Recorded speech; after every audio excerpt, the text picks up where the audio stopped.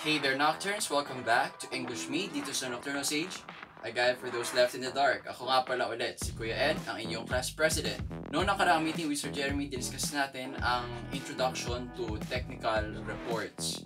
Natutunan natin na ang technical report ay anumang klaseng report na, na gumagamit ng data para improve ang isang concept o idea.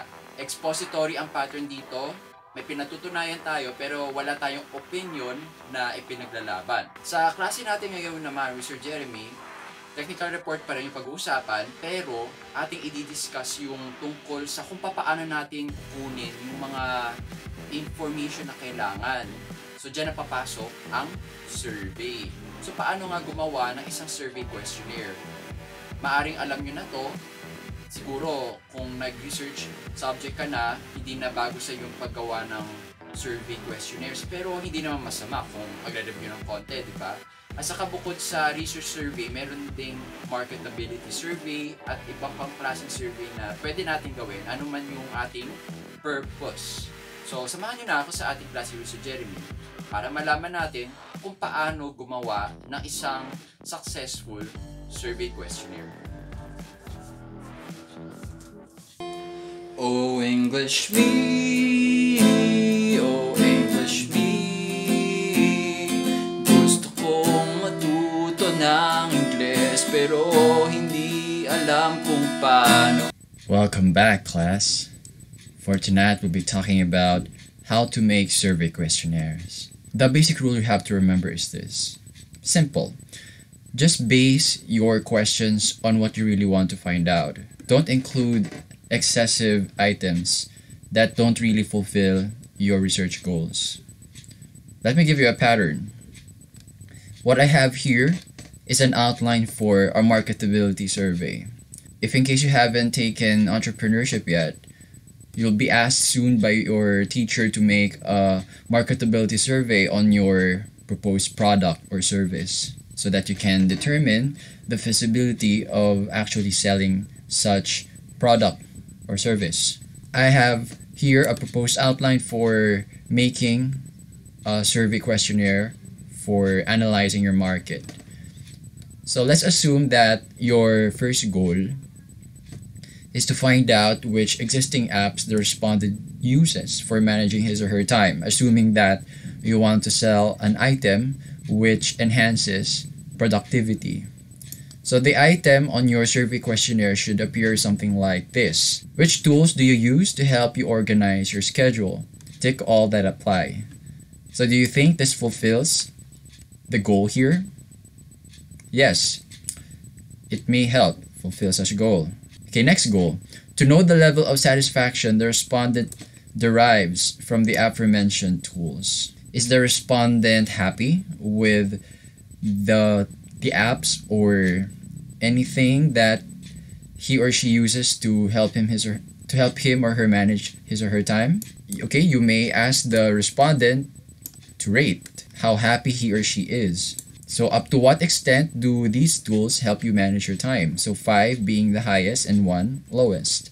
And this one is, seems to be the most important. To get the respondent's idea of what effective time management is. If you really want to sell a productivity product that will help the the client be more productive or at least feel more productive you have to align your product with the client's idea of what time management is. And you can do that, you can elicit that answer by asking questions like, in your opinion, what is effective time management? This is an open ended question that can generate a variety of responses. This is not a research paper where you have to tally everything meticulously, but this survey aims to confirm whether or not your product will reach scale or if it will have the potential at least to be successful. And the data that you shall have gathered from your marketability survey will guide you in designing the prototype of your product. So this is your basic guide or review of how to make a survey questionnaire. Continue surviving in the dark for the next part of technical writing. Oh English me, oh English me Gusto kong matuto ng English pero hindi alam kung paano. Sino ang magtuturo? Gusto kong matuto na talaga. Oh English me.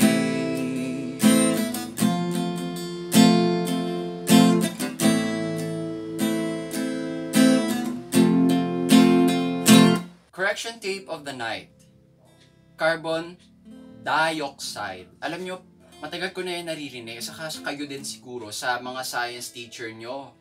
Mas lalo na sa chemistry, baka yung pagkakasabi parati ay dioxide. Yan yung Filipino pronunciation. Pero kung gusto niyo yung American or Brit pronunciation, dioxide. Dioxide, hindi dioxide. Yung stress, pag Filipino pronunciation nasa unahan, di ba? Pero yung sa native speaker, nasa gitna. O, dioxide, yan. Carbon dioxide. So, alam nyo na ha. So, kung nagustuhan ninyo ang episode na ito, pakilike naman dyan sa baba. Tapos, kung may questions or suggestions tungkol sa lesson, i-comment nyo na lang din. Huwag kayong mahiya. I-share nyo naman ang video na ito. Mas maganda nga yung buong playlist eh. Sa mga alam nyong kailangan yung mga ganitong videos kasi nagtitake na siguro sila ng English for academic and professional purposes at kung nasa college na eh purposive communication. So, kung alam yung makakatulong ito sa kanila, i-share naman din sa kanila. That way, nakakatulong din kayo. Alam niyo naman sa paano ngayon ay sarili ng pamamaraan o diskarte sa pagkuha ng reliable reference materials. Mas lalo na ito wala tayong access sa library sa kung ano man yung date na nakalagay sa baba, yun yung panahon tinutukoy ko ha. Baka pinapanood yun na to 2026 na. Hindi na updated yung sinasabi kung kung sa walang access, baka meron na kayong access. Pero nonetheless, I, I want this to be timeless sana. Kung nangangailangan kayo ng outlet para ungkatin yung mga usapang hindi nyo mapag-usapan sa pangkaraniwan ninyong pakikisalamuha sa mga kaibigan o kapamilya, sumali kayo ng third space para may mamit kayo na kaparehas ninyo ng interest. At higit sa lahat, mag-subscribe at itap yung notification bell sa baba para hindi kayo mahuli sa anumang updates. Yung episodes pala, every Tuesday at 8pm. Ang Nocturnal Station nakatuon sa apat na larangan. Ang una ay self-conquest. Kung ikaw ay naghahanap ng strategies or tips kung paano pagdaanan yung mga particular na emosyon, yung mga negative or positive emotions, happy, excessive happiness or sadness. Walang medical prescription kami ibibigay pero tutulungan ka namin mag-introspect, mag-reflect kung paano pagdaanan yung mga ganito emosyon. Pangalawa ay communication. Kung ikaw ay naghahanap ng paraan para mas maging effective speaker, hindi lang pagbasa at pagsulat ha ng English yung pag-uusapan dito. Pwede din yung paano ka mas maging confident tuwing humaharap ka sa maraming tao, online or offline na. Yun, pwede ka namin bigyan ng tips through the upcoming playlist. Abangan nyo the upcoming playlist para sa oral communication in context. So, yung sa mga pa grade 11 or yung mga uh, about to take yung oral communication in context, abangan ninyo ang playlist na yon at saka i-share nyo sa mga nais gumaling sa pagsasalita at pakikinig din. Pangat pangatlo ay leadership. Kung ikaw ay bagong halal na student council officer o nagtatrabaho na at bagong promote to manager or any kind of position na pwede mas mataas sa manager, hindi ka namin bigyan ng tips kung paano humawak ng mga tao nang hindi sasablay. O kung sumablay man, eh, madaling makakaahon ulit.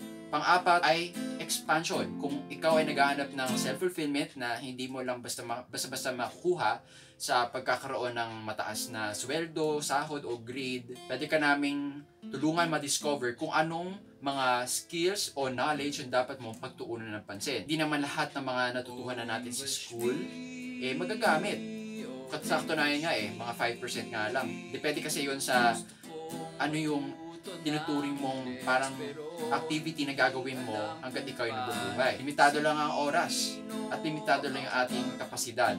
Pero, hindi yun hadlang para ma-achieve yung self-fulfillment na sinasabi ko. Yung tipong da- dama mo na nagampanan mo ay yung tungkulin bilang isang nilalang sa mundong ito. Kung hindi mo pa alam ang iyong misyon sa buhay, kasi wala talaga magsasabi nun sa iyo, ikaw lang makaka-decide nun. Pwede ka namin bigyan ng tips sa kung paano maging decided sa anumang gawain, anumang vocation yan, ang dapat mo talaga paglaanan ng karamihan ng oras mo. Tingnan natin kung tutungo yon sa self-fulfillment. Pag naging self-fulfill ka, mas mag expand ka. Mas marami ka pa akong matutulungan. Salamat muli sa panonood. Ako si Kuya N. Kita-kita sa susunod na episode ng English Me dito sa Nocturnal Sage. A Guide for Those Left in the Dark. Alam kung paano